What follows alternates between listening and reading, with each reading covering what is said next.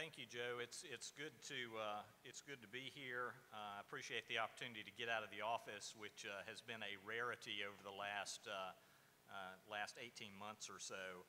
Uh, it's good that we're all able to get out and, and gather together uh, in person once again. It's a real privilege for me to have the opportunity to moderate this very distinguished panel. Um, and so let me, let me begin by introducing our panelists. Uh, then I'll kind of uh, give you a brief outline of what we intend to cover today, and then we will get started. So let me begin on the far end of the table to your far left. Um, speaking of first honor graduates at the University of Georgia, we'll start with uh, Judge Lisa Godbey Wood.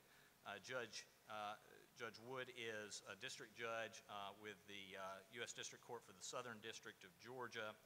Uh, she is a, like me, a double dog, a graduate of the University of Georgia and the University of Georgia School of Law.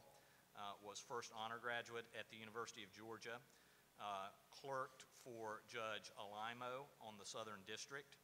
Uh, then she served, she had the distinction of serving after several years of practice as the United States Attorney for the Southern District of Georgia from 2004 to 2007.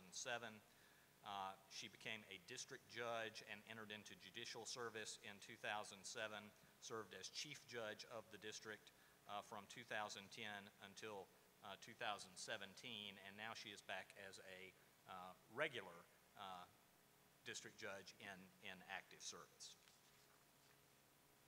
Coming down the table uh, to uh, Judge Wood's left uh, is senior United States District Judge Louis Sands from the Middle District of Georgia. Uh, Judge Sands is a graduate, uh, I guess he's a double bear, uh, a graduate of, of Mercer University and, and, the Walter George School of Law. he served in the United States Army. he worked as an assistant district attorney down in Macon. Uh, he was a Superior Court judge in Macon. He also served as an assistant United States attorney for the Middle District of Georgia. Uh, in 1994, he entered into judicial service on the federal bench. Uh, as a district court judge, he has served as uh, chief judge of that district, uh, and he is now uh, serving in, as, as a senior judge. Next is Judge Leigh Martin May. Uh, who is also a distinguished graduate of the University of Georgia School of Law. She was a year ahead of me and one of my law review editors when I was there. Um, she is a little less distinguished in having a, gotten her undergraduate degree from Georgia Tech, um, which my friend George Carley used to, talk, uh, used to refer to as, as the trade school on North Avenue. Um, but she clerked uh, after law school for uh, Judge Dudley Bowen uh, in the Southern District. Uh, she then practiced law with uh, the Butler Wooten firm uh, out of Columbus and Atlanta, and she entered into uh, judicial service uh, in November of 2014. and finally, Judge Steven Grimberg. Judge Grimberg is a graduate of, oh, here we go again, University of Florida, um, but then Emory University School of Law. Uh, he, he practiced in, uh, for about seven years, I think, in private practice. Uh, he then joined the Justice Department, spent 12 years with the Justice Department, first as a trial attorney in uh, Main Justice, uh, and then as an assistant U.S. attorney and eventually deputy chief of the economic crime section of the U.S. Attorney's Office in the Northern District. Uh, briefly worked as uh, in-house counsel and uh, was appointed uh, and confirmed to the federal bench and entered judicial service in September 2019. Uh, so it is, it is my honor to uh, be moderating this very distinguished panel. What we intend to talk about, we want to talk generally about the view from the bench of uh, advocacy, what makes for quality advocacy, what makes for effective advocacy, I think a lot of lawyers don't appreciate how much the judges want them to be effective advocates. Because from my judicial experience, I can tell you the judge's task is not easy, but it is considerably easier when a hard case or a hard issue is presented uh, by well prepared, thorough, and thoughtful lawyers on both sides of the case and both sides of the issue. So judges very much want the lawyers to be effective advocates. Uh, but to begin, uh, we want to start a little bit with the changed circumstances in which we find ourselves. uh, advocacy and litigation and court operations have changed a great deal over the last 18 months or so with the pandemic, and it has changed in some respects what is necessary to be an effective advocate. So we're going to start with a, a discussion uh, for the first portion of the program of, of COVID-19, and then we're going to move on into more general topics of advocacy. So to begin, let me ask, let me ask uh, our, our panel to, in your respective courts, could you tell us what kind of the current operational status is with respect to uh, the pandemic and how that's affecting how you conduct proceedings? Okay, well, let's start, let's start with, we'll start with the Northern District here. Who, who wants to speak for the Northern District? Sure, I'll, I'll speak. Um, I have to say, um, it differs a bit by judge, but um, we are really back in business. Things are not really that much different right now than they had been before the pandemic, with the exception of everyone's wearing a mask and we're doing some social distancing. Very small things like you might not go up to the podium, you may stay in your seat. But, um, but things are kind of like, in, in, a lot of sense, the way they are before, with the exception um, that if, because of your particular circumstances, you prefer to do something um, on video or Zoom, I think most judges will accommodate that, but we're not going to know that that's important to you unless you raise that as an issue. And I've had plenty of hybrid proceedings where some people want to be in person, some people want to be on video. Um, it, it, really just depends on you know what the lawyers want to do and why. Um, we can accommodate a lot of different things than we could before, but um, but I'm really seeing things you know running kind of like they did before, which is is is not necessarily what litigants are expecting. Um, you know, um, I think that they are like. Was this supposed to be in person? Well, everything is in person unless it's, it's really, there's a reason for it not to be. But we're kind of, from our point, we just didn't see a clear end date on this, so we had to just figure out what to do and, and, and start back again. So um, we're back in business. Judge Sands? Yes, uh, pretty much the same in the Middle District. We're back uh, uh, pretty much as we had been before, but with more accommodations. Uh, as, as, as, Judge just said, um, uh, we had a, a, of course, a moratorium that lasted until I believe the first part of, of June. And uh, now we've had trials uh, in all of the divisions. Uh, I think all of the judges have tried at least one or more cases, and, and we've worked out a, a, a, protocol that kind of makes that work well. And it's kind of, uh, as uh, Judge May says, um, some parties want to be able to uh, be accommodated by having some distance in appearance, but most are back to our normal situation. We notice the cases and we remind people of the, of the protocols, and, and, we expect people to show up in, in the course, with some exceptions. Probably the, the most uh, uh, consistent change that came from the, the pandemic uh, with our magistrate judges, uh, who still tend to hold uh, most of their conferences by video, uh, where most of the time the parties will, will waive a personal appearance, and those are done routinely by, by video conference rather than in person in, the in-person is the exception. But uh, we are, uh, as the judges, and it's uh, up to us individually. Um, uh, for instance, this recent surge that we've had, um, and was kind of unexpected. And of course, I'm in, I'm in Albany, and of course, we were kind of the surge capital, I thought. And um, so now each judge individually kind of determines uh, whether or not you should hold uh, in-person things or, or, or, change them or to delay them. And that's pretty much going along ar around our entire uh, uh, court now. So we're, we're holding back a little bit currently in, in, in, in jury trials to see how the pandemic uh, uh, surge works out. But, uh, but otherwise, uh, we're back pretty much to normal and trying to, trying to stay that way. Judge Wood? Yeah, we're in Southern District of Georgia. We're about like my colleagues um, north of us. We've cleared the backlogs. We in Brunswick, we started jury trials back in April. We've had five um, go to verdict. And I will say, though, with the Delta um, variant surge, I did postpone two trials, and we'll look to those later this fall. Um, Each judge in the Southern District of Georgia has nuances that differ in the way they're handling this. Savannah is doubly challenged right now because, uh, for a good reason, um, the historic Tomochichi Federal Courthouse got $90 million of uh, upgrades funded by Congress, and those begin this month. So all of Savannah, um, which has been occupied as a federal courthouse since the 1800s, is now not occupied, and they are um, piggybacking in Statesboro and different places.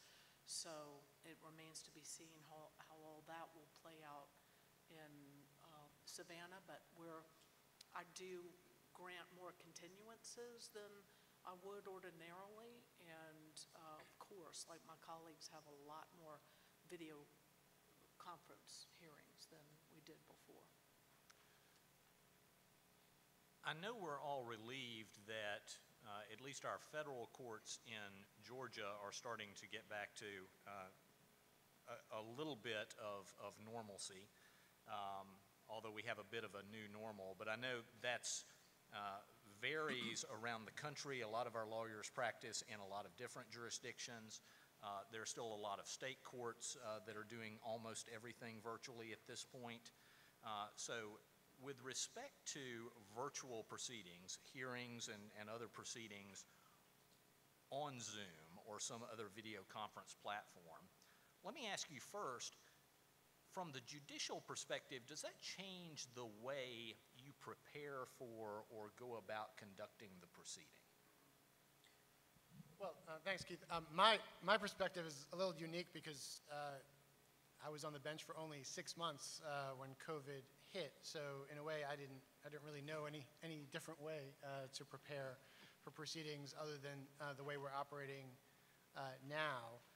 I don't know that there's, there's necessarily a different way that we prepare. I think there's a lot of advantages um, to the platform in the sense that, that I have seen lawyers get, as they get more accustomed to the functionality of it, uh, being able to use effectively, um, you know, the, the, screen sharing functions to be able to sort of supplement their arguments uh, with uh, whether it's demonstrative aids or, or, or um, you know, PowerPoints in a way that perhaps uh, they would not have necessarily thought to do uh, for a run-of-the-mill hearing or, or sentencing or the like.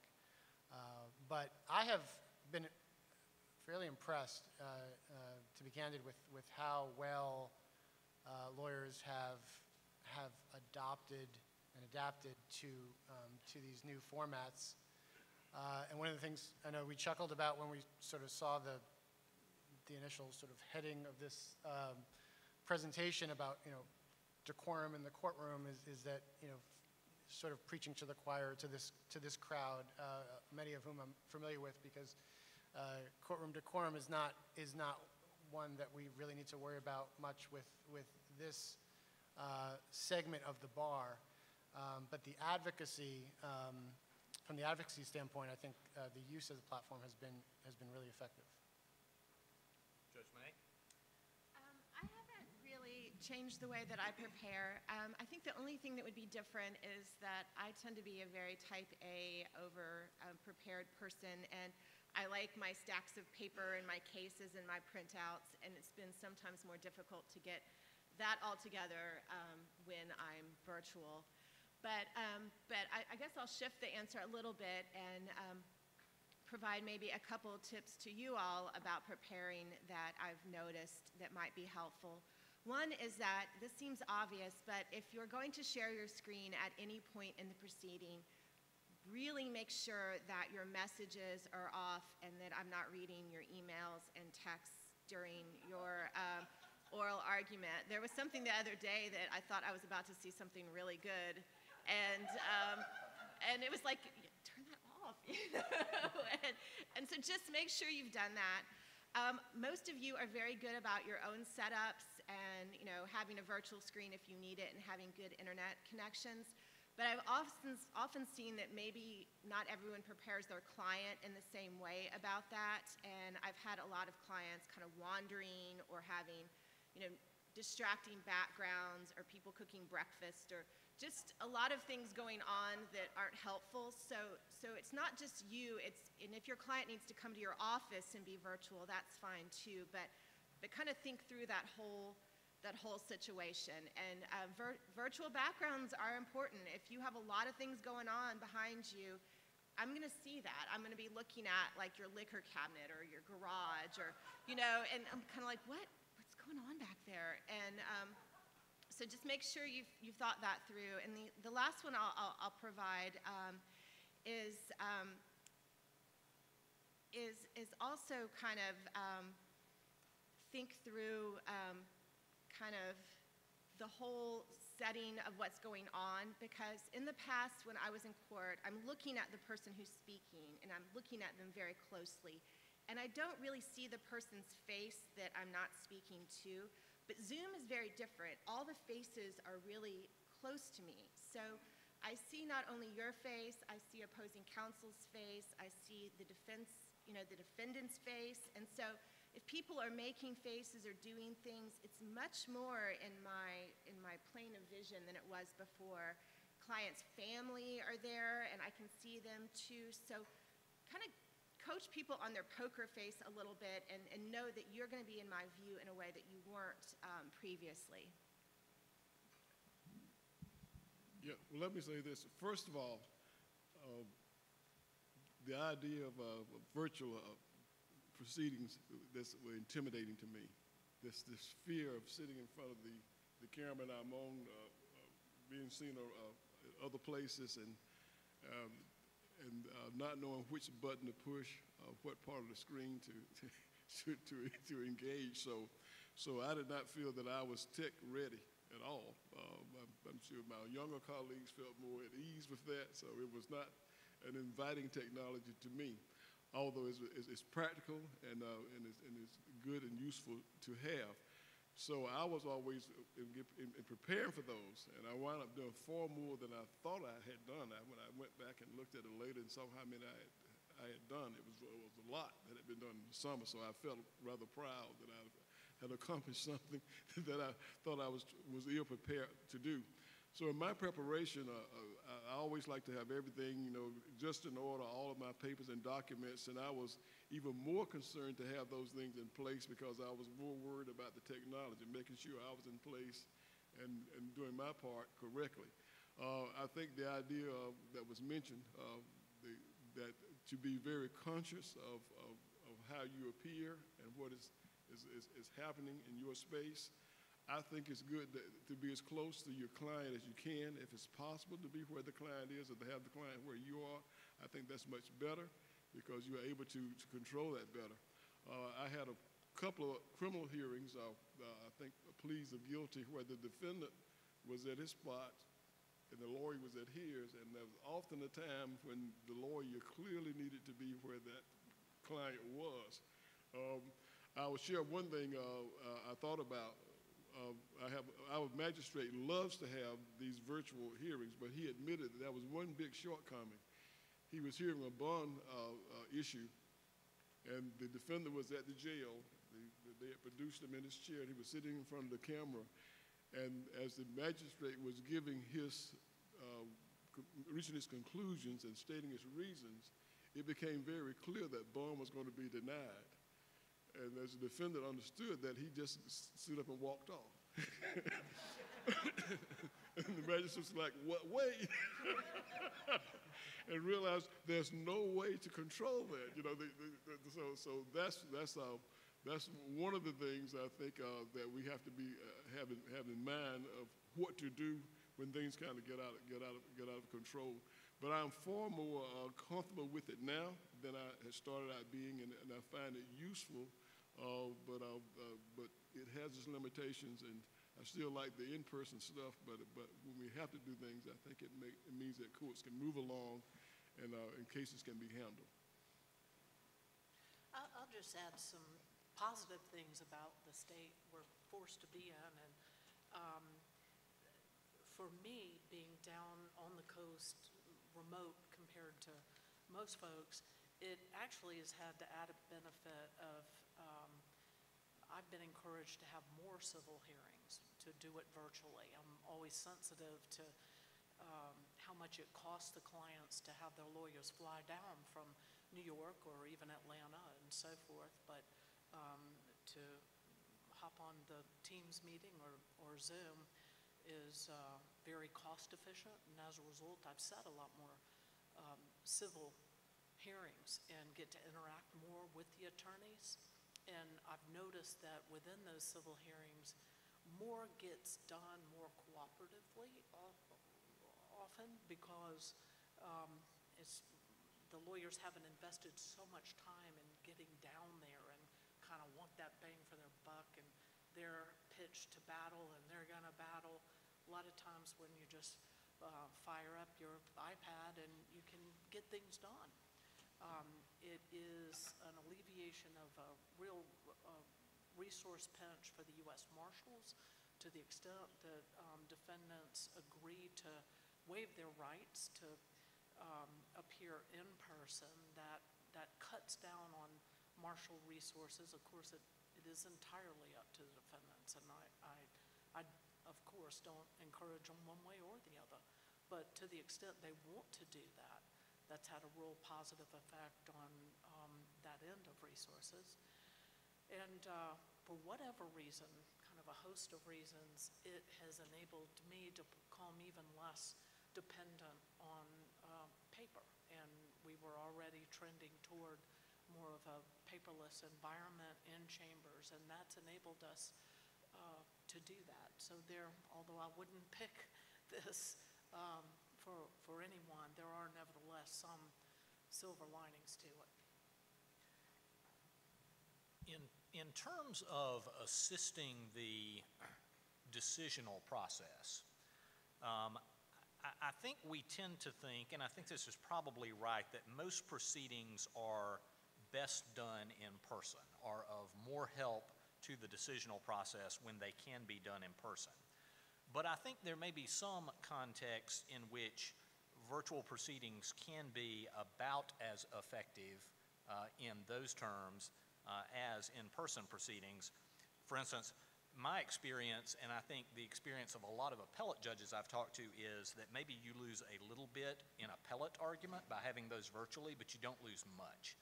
Are there particular contexts in the trial court where you think that virtual proceedings are about as effective as, uh, and about as useful uh, as in-person proceedings, such that we might expect to see them continue to be done virtually even after the pandemic?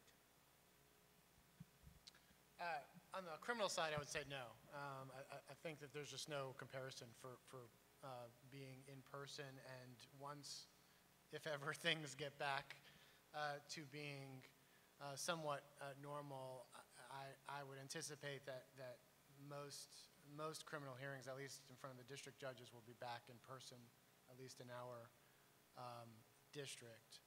Uh, On the civil side, sure, I mean, there's, there's, um, there are, uh, there are benefits um, to doing it, and, and there's, there's situations where there's really not a lot lost and a lot gained from doing uh, things virtually, uh, particularly when it comes, as Judge Wood was saying, to the availability of counsel and their, their clients and uh, mitigating travel costs, uh, and just scheduling, just people are more available to jump on a Zoom call than to, to devote uh, half a day to coming uh, downtown.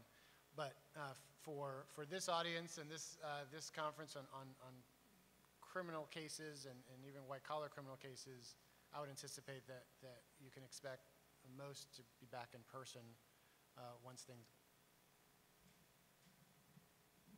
I'll, agree with that. Um, and from our perspective in the Northern District, the way, you know, that y'all know that we deal with cases as a district judge is we're really primarily dealing with guilty plea sentencings and trials and the pretrial matters. And most of that is really kind of in-person type work, unless there's a reason for it not to be. Um, I think it's been good in situations where, for example, there's a guilty plea and somebody is out on bond and they're in a different state, or maybe we can accommodate more family that, that can, can attend. Some of that has been um, nice, but, um, and like Judge Grimberg said, in the civil side, it's opening up a lot of good possibilities um, that I think will stay. The one thing I think is missing, and it's more of an anecdotal feeling, is the interaction between the um, attorneys. And um, I feel, and y'all know this more than I do, that a lot of things get resolved and dealt with because you see each other. You're in court for something else and you say, hey, let's talk about this, or how are we going to resolve this issue? And there's a lot of back and forth that happens that, that really moves cases forward. And I don't think y'all are doing that. Even when you're in person, everyone's got their mask on and they're coming in and they're rushing out. And so we've got to find a way to implement more of this informal back and forth that really is productive to getting cases resolved because even right now on my docket, I have a lot of cases that, that need trials that I don't think are going to go. And I get this impression that this kind of like sitting down and talking about things is, is not happening in the same way it did before. And that somehow needs to be recaptured because it's a very important part of, of, of what it is that we do and how things get done. Yeah, I agree with both of my colleagues. Uh, um, the, the criminal side, is going to probably get back to the norm of having as much in person as, as we can. As I said earlier, uh, some, our magistrate used the, the, the, the arraignment and first appearance, uh, initial appearance uh, stages.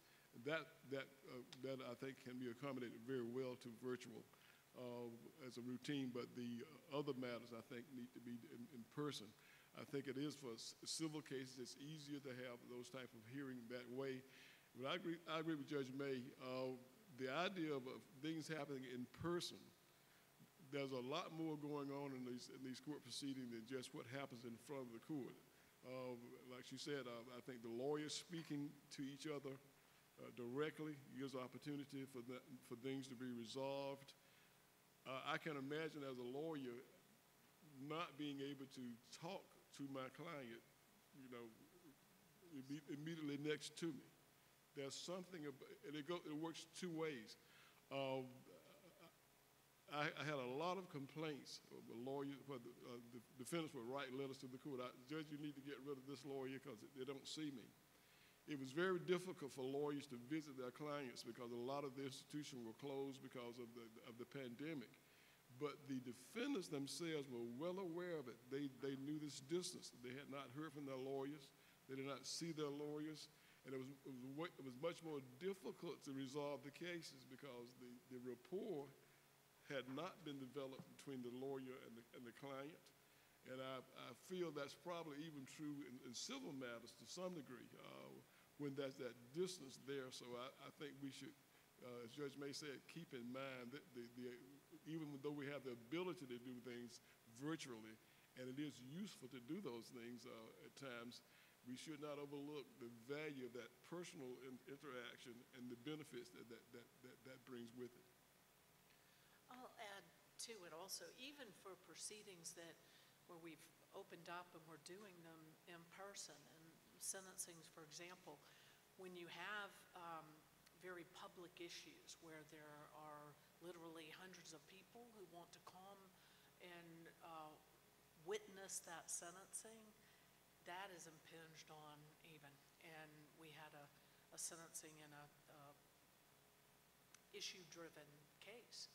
And ordinarily, before COVID, we would have had the shoulder-to-shoulder courtroom packed with all their well-wishers and the auxiliary room with the remote setup, shoulder-to-shoulder. And as it is, we had to do six feet in every direction, and very few people could actually be inside. And we did have a public line, and um, they can listen, but um, that's, that's not optimal.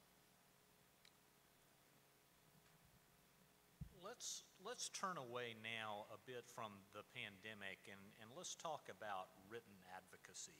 Uh, a lot of the advocacy in, in federal court, certainly on the civil side, but to some extent on the criminal side as well, is written advocacy.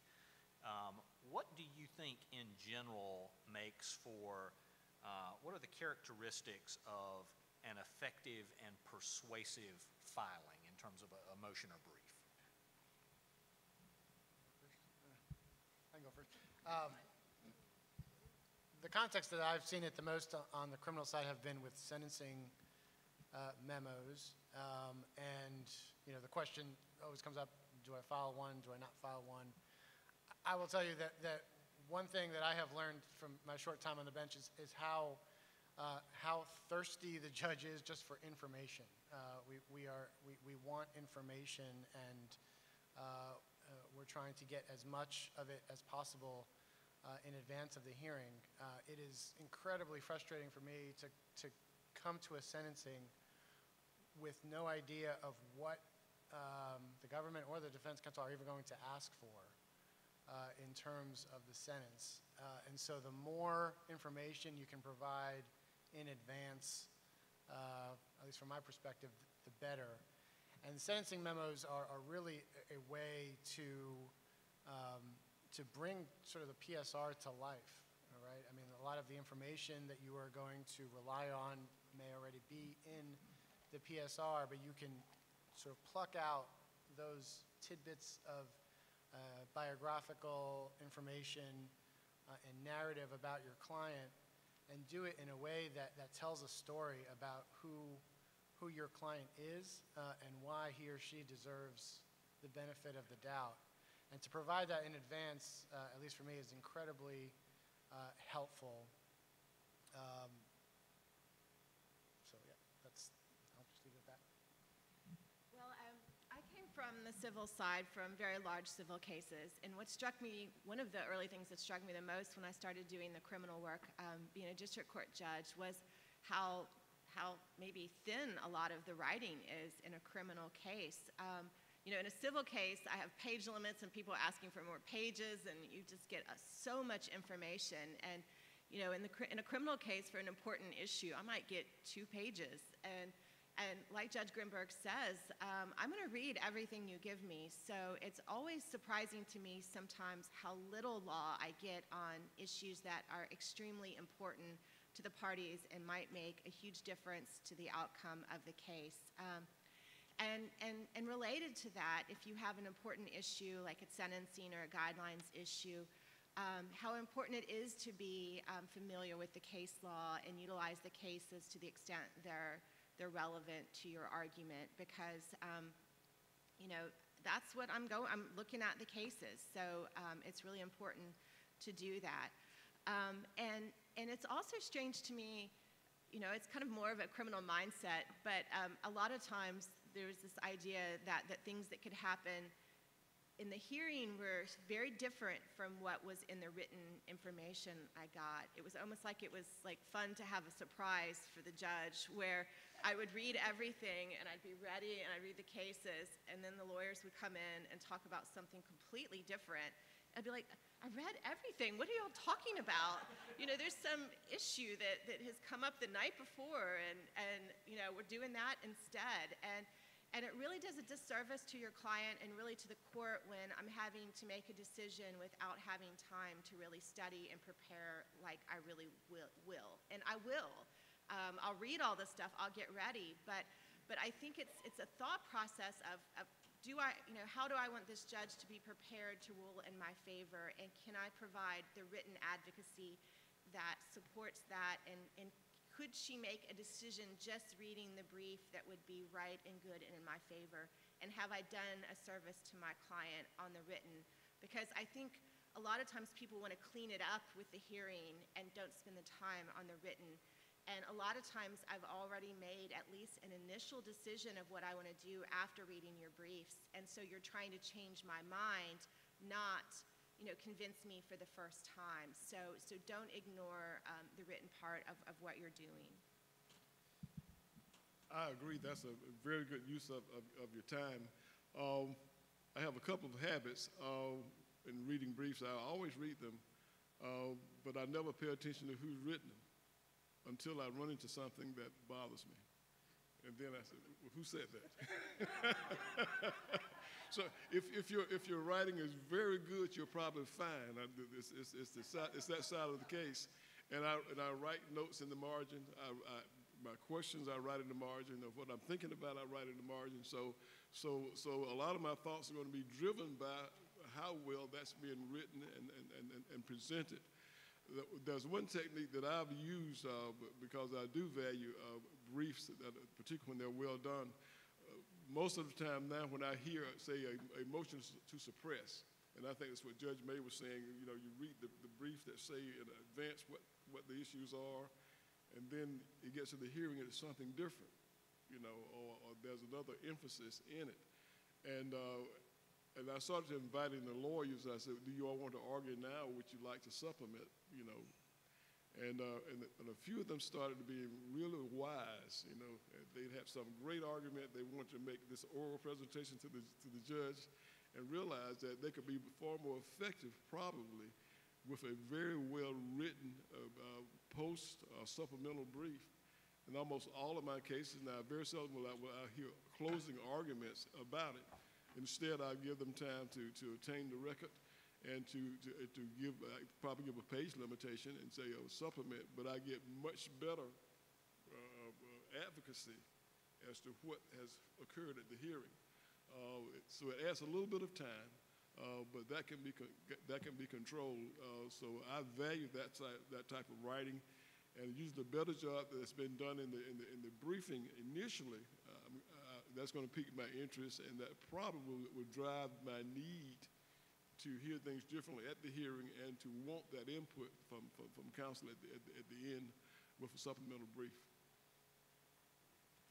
Uh, As with oral advocacy, I find written advocacy that gets to the point, is intellectually honest, uh, concedes bad points rapidly, and concedes good points concisely, uh, works the best. And uh, the fourth point is one, maybe that's less obvious, but for example, last week I got a sentencing brief that had probably three to four point, three to four pages making the point that uh, after the Booker case, the sentencing guidelines are advisory. Well, that was 15 years ago, and, and it is, it is obvious. And, and I, I don't mean to be snarky about it because frankly, there are some situations where that bears emphasis. Um, when, when the guidelines are sort of inexplicably off, um, in an advocate's viewpoint, then you, you want to hammer that, but not that long, and, and not in every case, and, and some people do. And it, it, um, I'm gonna read every word and think about every word, but you have to steel yourself to, um, to, to really focus on what comes next when someone has wasted their, their time in, in doing that. Other than, other than briefs that don't align with the issues as ultimately presented, uh, and briefs that go to great lengths to hammer home obvious points, do you have any other pet peeves in criminal or civil cases when it comes to brief writing? Uh, no typos. Um, um, uh, no, not, not, not really. I mean, just uh, good writing. I mean, spending the time uh, to present a good brief um, that is well organized, um, um, that is concise, uh, and that gets to the heart of the matter. Uh, to, to Judge Wood's point, I mean, we, we, we don't need to see five pages about what the 3553A factors are or what the standard is. I mean, we, we, we know, we know that. We, we're going to get to the heart of the issues, um, and spending, spending the time um, to, to, to present a well-organized, uh, uh, well-written brief goes a long way. But no pet peeves in particular. Um, since we have this particular audience, I'll add a really um, specific one, um, especially in white collar cases. Be really careful with emphasizing country club problems as like your major issues because the context sometimes falls very flat in, in, in comparison to a lot of the other cases and problems that we're dealing with with other criminal defendants.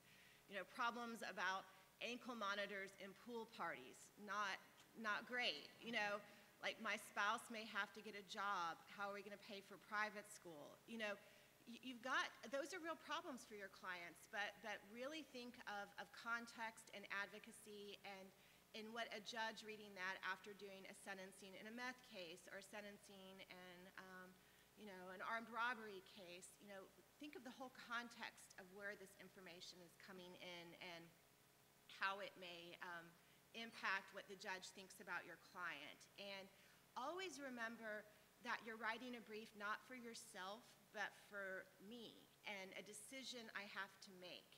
And, and I know that that sounds simple, but I don't think it is sometimes. It's got to be pointed at the issues that I have to address. And if there are objections, you know, it really is helpful to have a section in a sentencing memo that deals with that specific objection. So I can look at that section, I can read it, I can package it. If you are not um, following through on an objection that you raised in the pre-sentence report, you need to tell me that so I don't spend all that time preparing for it only to hear, oh, that's not a problem anymore, which is great, but I would have loved to have known that. So, so really think of of, of what is going to happen with your brief and how it's going to be digested and what I need to know to make that decision. And your work will be a lot better because of that. And if there's an issue that's raised in the other side's brief, um, you know, always ask for a chance to file a supplement or a reply or something if you have time to do so before the hearing, if you've left something unaddressed, or if a problem isn't there anymore you know, anything you file, the, the judge is going to read and look at, and, and we prepare um, for these hearings. And so the more information we can have about the current decisions we have to make, the better the hearing's going to go for, for everyone. I agree with all of that. Um, just remember, of course, it's, it's a matter of advocacy. So you are, so for the, for the sentencing uh, memoranda and that for the uh, presentation at the, at, the, at the actual hearing itself. Uh, but you want to do it in the honest way, like Judge Wood says. Uh, you want to be honest and forthright. There's a lawyer being forth, forthright in a matter and direct and honest about the, the, the, pros and cons, and yet come forward and, and advocate strongly for their client. It's, it's very impressive. I mean, it gets, it gets you a, a long ways. And also, uh, I, I, agree that uh, if there are objections, uh, technical matter, matters about a sentence, that should be addressed in the writing as well as acknowledged on the record. Because one of the things, uh, I guess we, we probably don't want to say this too loudly as, as trial judges, uh, but probably the softest spot in the judge's work is how well the court has made findings and made rulings in the, uh, in the sentencing procedure, for example. And so that's where the lawyers can be helpful. Uh, I, I, agree Judge May. You know, you, you raise four or five objections, and, and I spend my previous evening going over it in detail for the, for the, and then you tell me at the oh, we withdraw, we withdrew that, Judge. Uh, we don't need to be concerned about it. and all that, all that time is lost. But, but, but to be aware uh, that you can assist the judge and make sure that the appropriate findings are made on issues that have to be addressed. And uh, so, so there's a lot of, a lot of good reason to do uh, fine briefs uh, ahead of time for sentencing. Now, on occasion, uh, if briefs are really well written and the other side has not responded, uh, doesn't include anything about it, I will often order that it be done because I want to hear the other side of it in advance. And uh, it probably, if you've uh, got my attention that well to the, to the point that I avoid the other side to, to do a written response, that you've been very effective in, in, in, in, that, in that process. My main pet peeve, I think, and I, this applies orally and in writing, is when um, lawyers or judges, frankly, in orders, are unnecessarily snide or critical on a personal level of um, other lawyers. What, uh, although it's been a long time since I've been practicing, I still remember how hard it is. And yes, sometimes you take a position that perhaps you shouldn't or is not well supported. It doesn't help to then the other side take it down to a personal level and, and write very snide things in response or, or say very snide things in court. And if it happens in the courtroom, I try to sort of gently turn things toward a more professional level. If it happens in the writing, I do, like Judge Sands says, I'll turn and say, who wrote that? And, um, but I, I guess as far as pet peeves go, that'd be my, my main one. So you filed a, a great motion or a great brief, uh, and now you're at the hearing. Uh, the lawyer is, is arguing the issue to you. Uh, you know, I, I think lawyers just standing up and having a conversation with the court about a legal issue seems so quaint in 1990, and now everybody wants PowerPoints and lots of exhibits and blow-ups and everything. How effective is that, and is it really necessary, and are there contexts in which all that is distracting? I need to go first all the time. Should we switch it up? Yeah, well, Why don't we start that in? yeah, Judge Wood? As far as um, uh, how much that adds to have all the dog and pony show? Yeah. It depends on the case. You know, there, there, it can be where there's a complicated timeline or maybe um, very complex relationships, this shell company, that. There are times when, when that helps enormously. Um, And then there are times when you think, this person just likes to do this in every case, and it, it, it doesn't add. So I, I, I can't say just blanket, don't do it or do it. It, it is case dependent. Yeah, I agree. I think you have to make sure, uh, if, if a case is, uh, is really com- complicated, uh, either in, in, in the law or the facts, and, and, and some type of PowerPoint or some type of outline would be helpful, I think that's, that's useful. But if everything is pretty, pretty easily uh, consumed and understood, uh, to go through that sort of additional thing, I think is, uh, kind of, can be kind of demeaning uh, in that sense. Now, as far as the presentation, I, I agree with, uh, with, with Justice. Uh, the advocacy should be one that's conversational. First of all, I don't routinely set hearings on motions uh, unless they're asked for. And, that is because if the, if the briefing has been well done, uh, I don't really need a, a hearing. But if I say uh, I won't set this for a hearing, you better believe that's because that um, the uh, briefing has not resolved everything. There are things I do need to hear in greater detail. So, so that's, that's, that's the time to come really prepared. And uh, I apologize to lawyers all the time when they argue cases in front of me because I'll, something will, a question will strike me, uh, somebody will already have written in advance, others as I'm listening, and I interrupt to ask the question. And, and that is the greatest opportunity to really get your point over and to, and to understand what it is the court is asking about. I'm not doing it just as, a, as an intellectual exercise at all. It's, it's what I need to know, what I'm concerned about, what will help me to understand this and to make a resolution. So what I like are the lawyers who are really prepared. They know the case law that they have there, and they have that ability to, of course, uh, to, to relay the facts and dissect them for the court uh, as needed. Uh, but the, the disappointment is when you it's when I interrupt and the lawyer is like, well, oh, that wasn't the point I was about to make, you know. And it's like you're, you're, you're breaking up the, the argument in a way that, that, that doesn't flow anymore. In other words, the, it's more like an interruption uh, from the lawyer's perspective.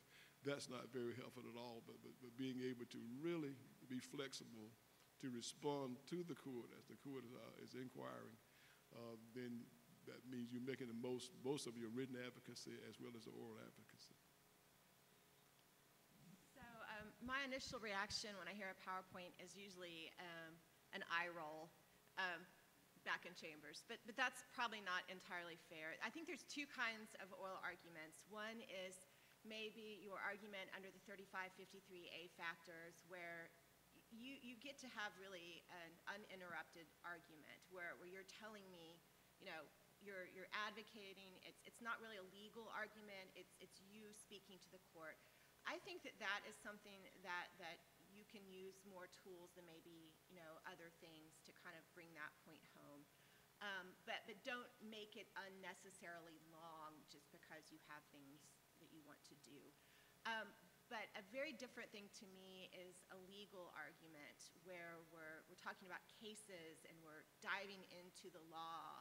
Um, that I find a PowerPoint really takes us off our track and really gets us somewhere we don't need to be. Uh, an oral argument when we're talking about the law is, at least for me, where I probably am the least nice and the most aggressive and the most questioning because I have a job to do, which is to answer a legal question, and I've read the cases, and I want to engage with you on this very high intellectual level and figure out the holes in your argument and what I need to do, and it's very active and, and sometimes mean, I feel. Um, that's when I have to kind of go like, hey, you're not cross-examining this person. You know, you need to back up a little bit. You've asked the same question three times. You've gotten the same answer. You don't need to ask it a fourth time. You need to kind of slow down. Okay. Um, but it's because I really want an answer to a question that I'm trying to struggle. I'm struggling with it, and, and I want you to help me with it. And so that a PowerPoint interferes with our conversation we're having. And I really want you to have the cases printed out with you, have read them, read the other side's cases, because I'm going to be looking at page 34 and you say something, they'll be like, well, how does that square with this? And, and we're going to be getting into it. So you've got to be really prepared to do that because that's what, what I'm going to want to do. Um, but I do like to see a document or a contract or something if that's helpful. You can use that on the screen or you can hand that up. I also don't mind if people have case law that they've highlighted and flagged and you want to hand that up. Just make sure you have a copy for the other side and potentially the law clerk is always a good person not to ignore. Um, that can be helpful because it's dynamic. You know, when we talk about that case, you can say, well, here's another 11th Circuit case, and look at this quote right here. It says that. Let me hand that up to you, and then we can engage on that. But, um, but it's very much, as you all know, very judge dependent. And um, some judges don't ask a single question, and a PowerPoint is lovely. But some judges, like me, are like out there, like, you know, getting into it, and that's just not helpful, I, I find. Oops. Yeah, I agree, I agree with uh, much of what has been said. Uh, I'll quibble a little bit with, uh, uh, with Judge May's point about the, the case law. I think if you're going to provide case law, provide it, at least to me, in advance.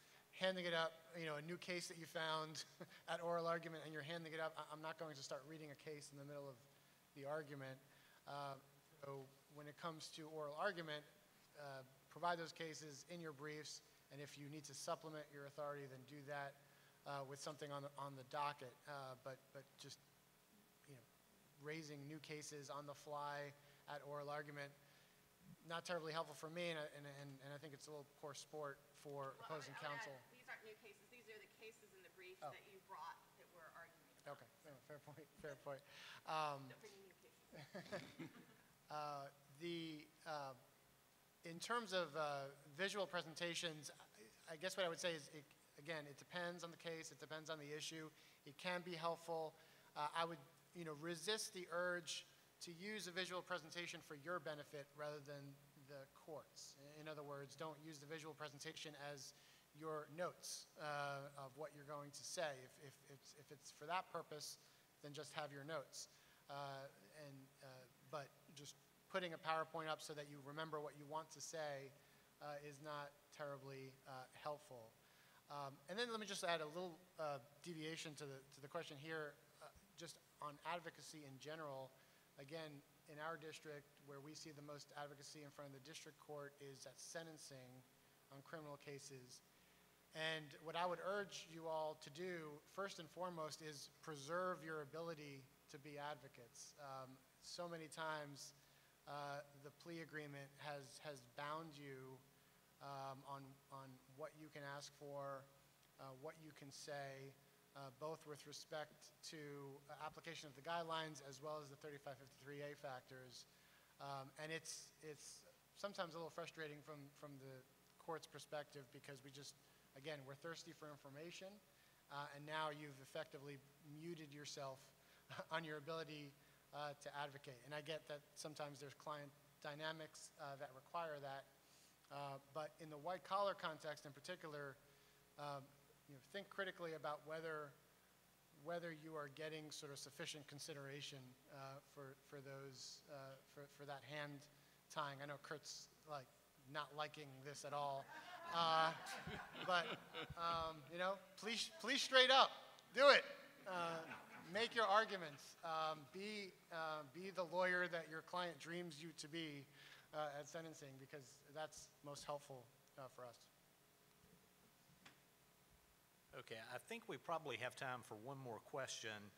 Uh, So let's turn to the presentation of evidence. Uh, When you're in uh, a, a really long proceeding, perhaps, a really long jury trial, uh, or when you are proceeding, presenting evidence that may be highly technical or, or very tedious, how do you keep, uh, how does a good lawyer keep their audience, whether it's the judge or a jury, engaged?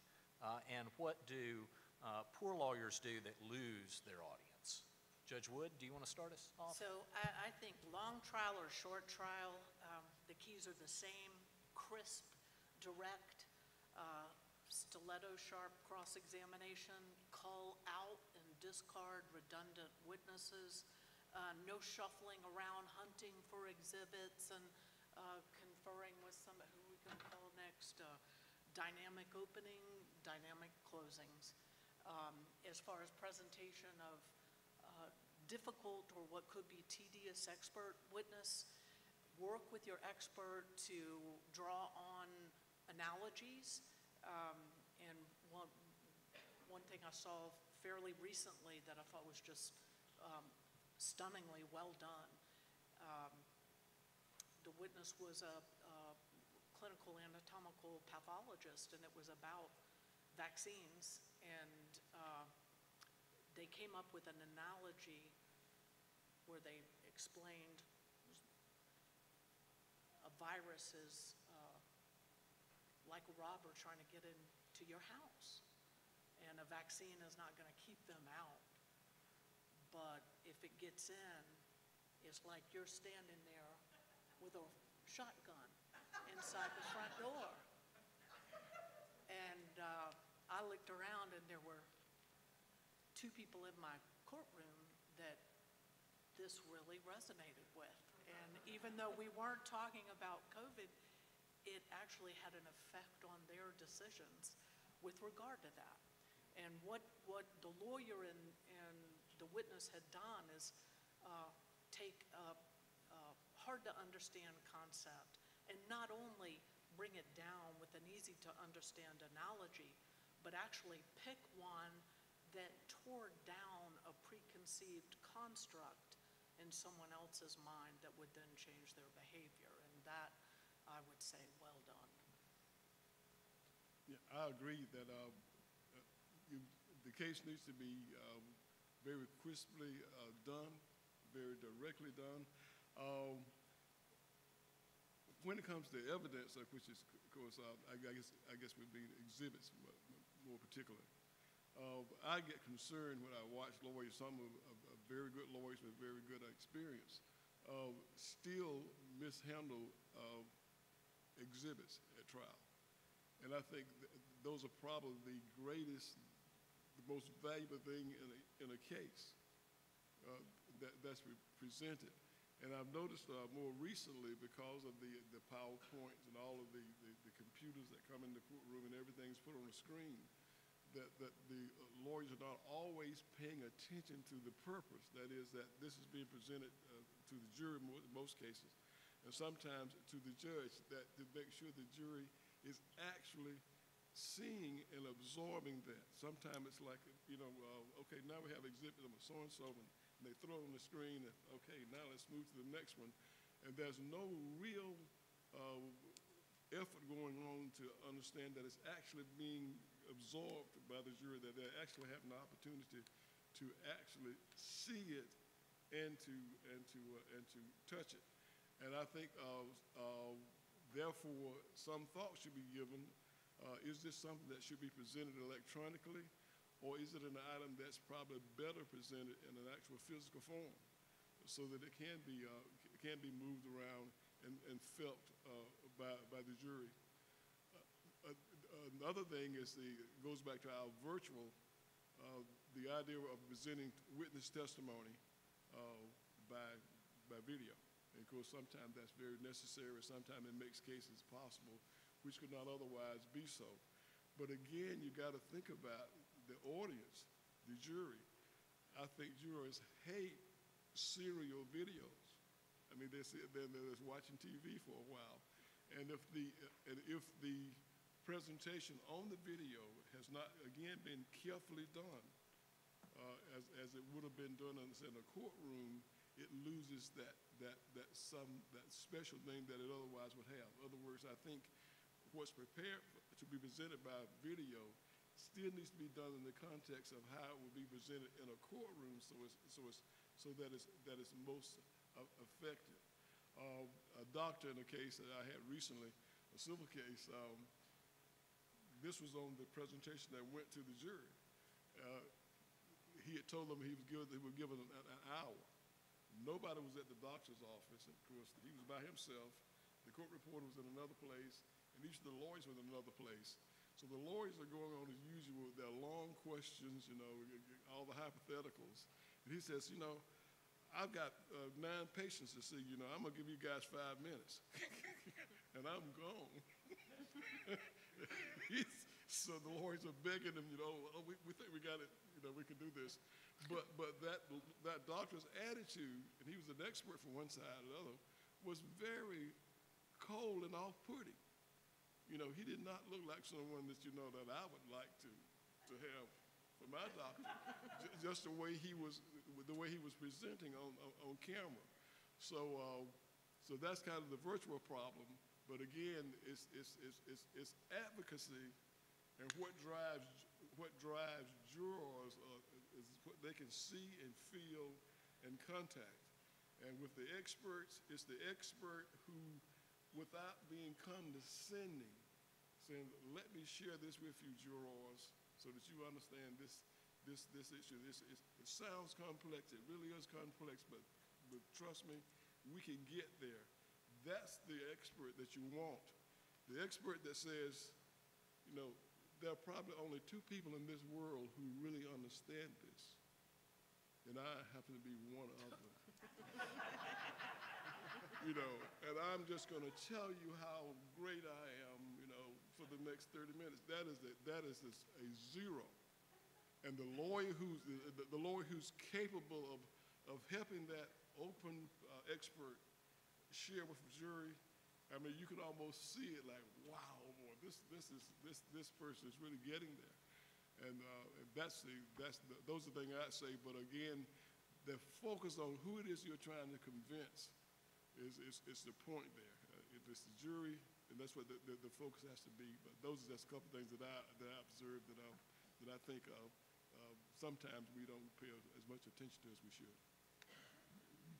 Well, since this is a white collar um, conference, I will say that white collar trials can be very unnecessarily boring. They, they just can. Um, and, and y'all will all agree. Um, there's a point in time when, you know, I think that sometimes it's just like throw this mass of stuff at a jury and give for two weeks and then, you know, and then get them back in that room and get them to put it where it goes. And that's very difficult.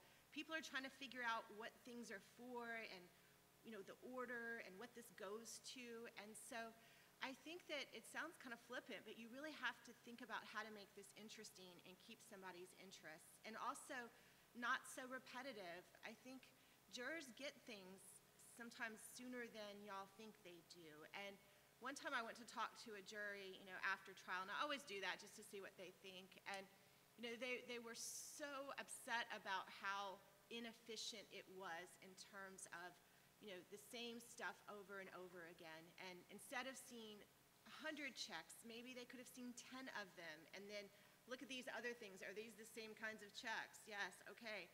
You know, it, it's, it's really thinking about them and them processing the information that people really need to do more. In fact, the same juror says, Does anyone just stand up and say, Stop, stop, it's too much? I was like, I was like, no one actually says that, but um, but that shows you what they're thinking, you know. And and what I notice sometimes too is we'll have a lot of things that are kind of repetitive and boring, and then there'll be something incredible that will just like be right in the middle of all of that. And I'm like, they missed that. No one heard that. They tuned out. They didn't hear that. You know, save your good stuff for like when things are like lively, you know, and, um, and the court will help you, but sometimes too, you can see the jury fading. You know, you can ask for a break maybe, you know, or stand up or, or kind of do something a little different with your presentation to shake it up. It also sometimes helps to have different lawyers involved. You know, if you have the same lawyer doing the same thing, that sometimes gets boring. But if you mix it up, let, let that person take that witness, hear from somebody else, you know, kind of make it more exciting. Um, and I think that lawyers can use outlines more than they do in their direct examination and even cross. So let's turn to a new subject. We're going to talk about what happened on this date and the documents that were generated from this transaction. And then jurors are like, okay, something new, what, what we're talking about now.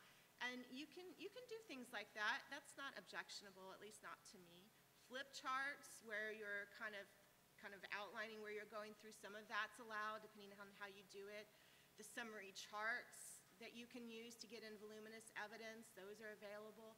But and, and also too from the government side, you know, sometimes the sentence is really not going to matter necessarily if you get all of these kind of repetitive counts, and some of them are weaker or stronger than others. Really maybe pare down what you're trying to do if it's going to be the same sentence and the same thing. Like, why do we have to do all of this to get to the same point? Um, these jurors are not getting paid by the hour. They have you know, humongous sacrifices they're making to sit and listen. And if they think you're being disrespectful to their time or their intelligence, that's not going to um, help you, I don't think, in the long run. Yeah, I agree. Much of what has been said, it's, uh, you know, less is more is always a good, good motto to follow. Uh, the, uh, the best presentations I have seen, and this is more from my experience as a prosecutor than on the bench, uh, and, and uh, I know there's, there's several of my former co-counsels in the, in the room that will attest to this, but I, I was always obsessed with witness order um, because I think it is so critical to sort of telling the story that you want to tell. And I would even switch the order of witnesses depending on what time of day it was, it was going to be uh, as the trial went on because to Judge May's point, I, think it's critical to have sort of the important pieces of information coming out um, at a time when the jury is going to be most attentive. Uh, so just thinking of your role as sort of a director, a movie director, um, and how, how you're going to present your evidence in a way that is most effective and that, and that captures uh, the jury's attention uh, is, is a critical piece. The only thing I would add, again, for the white collar context, is in multi defendant cases where you're representing the, um, a defendant who is, who is less culpable or, or, or allegedly less culpable, um, don't overtry your case. Um, sometimes the best advocacy in that situation when you're the third, fourth defendant sitting at the table is to have almost, you know, no questions for a majority of the witnesses because you're, you're driving home the point uh, to the jurors that your person is not involved um, with um, the crux of the government's case. With the, with the understanding that we are at our allotted time and we stand between these good folks and their lunch, What we just talked about, no one was listening because they're hungry. Yes, does anybody have anything they'd like to add? Great. Well, thank you all so much.